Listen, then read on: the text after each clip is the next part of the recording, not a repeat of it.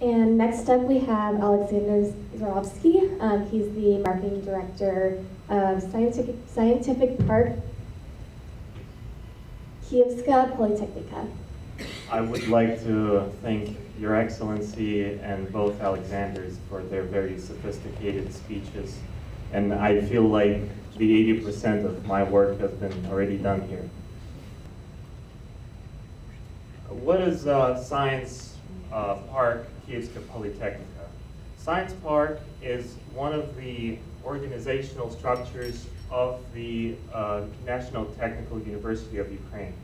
Uh, National uh, Technical University is the largest university in Ukraine and one of the largest technical universities in Europe that has a long history uh, starting from 19th century, has tens or even hundreds of great scientific graduates that it's very proud of.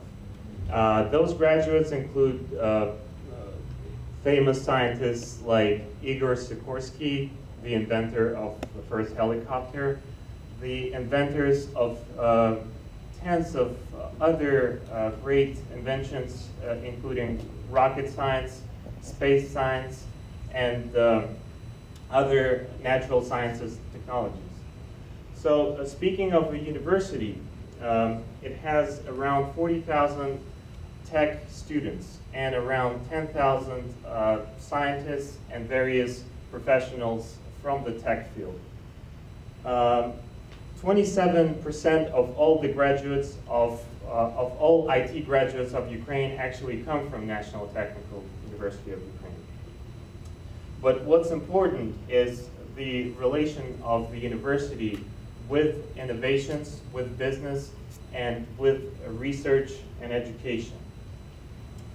If uh, we take a good look at this uh, scheme right here, we can see that university was able to create a very uh, complicated uh, scheme where uh, it could work with uh, various innovators starting from scratch from university, its own students, it has created its own uh, innovation uh, business incubator, incubator that helps develop innovations to, to the stage where innovations are ready to meet investors.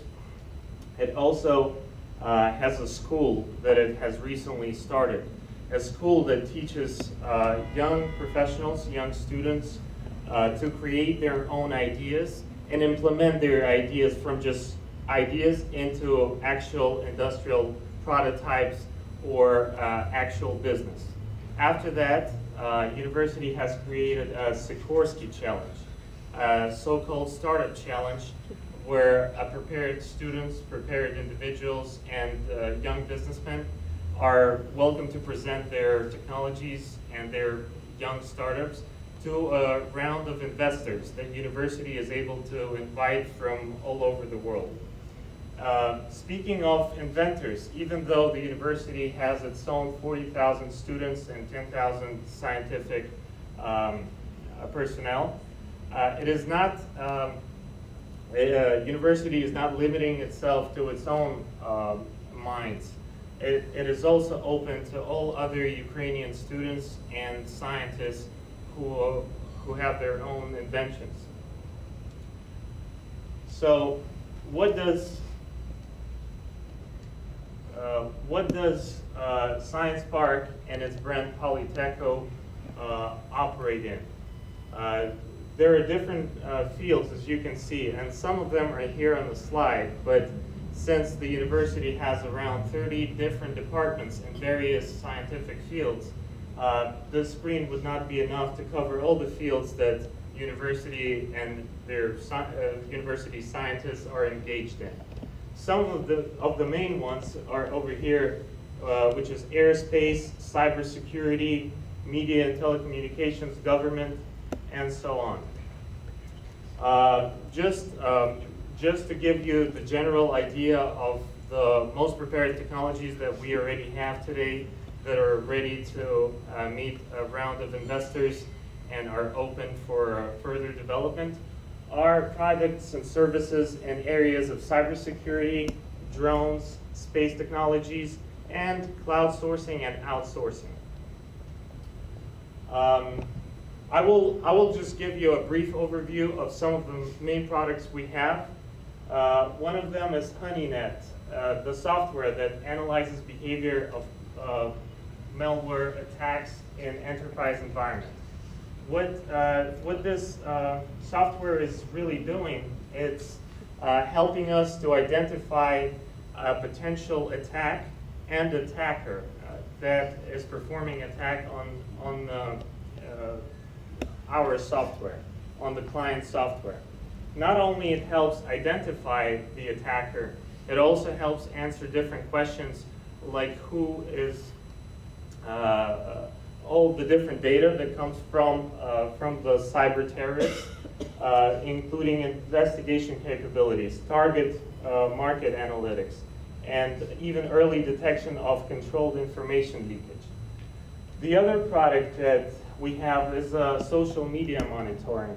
What this product is uh, used for, uh, it's most commonly used for uh, companies that are searching for potential employees, but what they're doing is they, they want to perform a preliminary research of a potential employee, and uh, they do uh, go ahead and sign a legal agreement where potential employees agree that a, a background search will be performed. And uh, this uh, software right here helps uh, simplify the process. It helps uh, gather all the information from all social media networks about a certain personality or even a number of personalities and uh, helps uh, bring it all together for further analysis.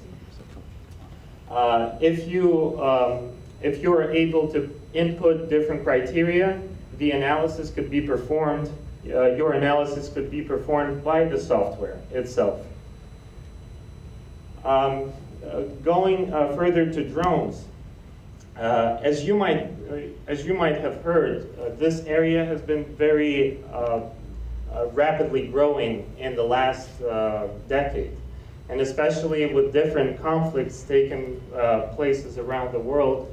Uh, this uh, technology has uh, another potential, not only for military purposes, but also for civil uh, purposes.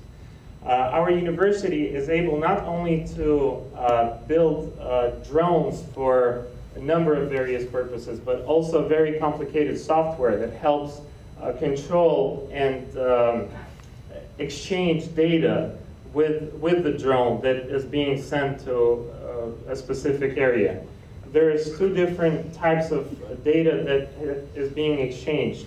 First is just information data uh, in terms of um, various locations and so on.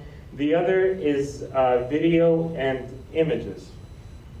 Uh, unfortunately, the quality is not very high here, but um, uh, very high definition images that are taken by drones are uh, being sent to the data center and analyzed further on. This software and hardware altogether is being uh, produced by our university, Science Park, uh, including Science Park.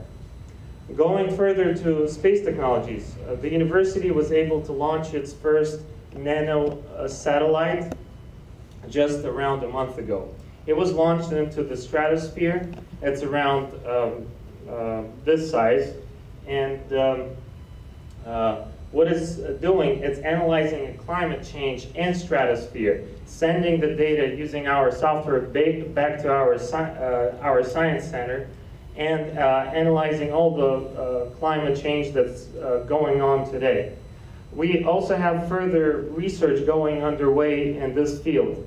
Uh, the services that uh, University and Science Park are able to perform are um, space cleaning services. There's a lot of space junk, as we know, in the space today.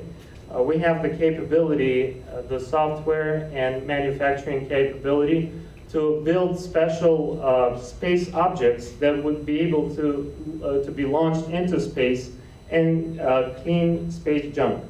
That's one uh, service. The other service would be to perform different technical tasks on already uh, existing objects in space, different existing satellites. For instance, if uh, a solar panel breaks down, it needs to be changed.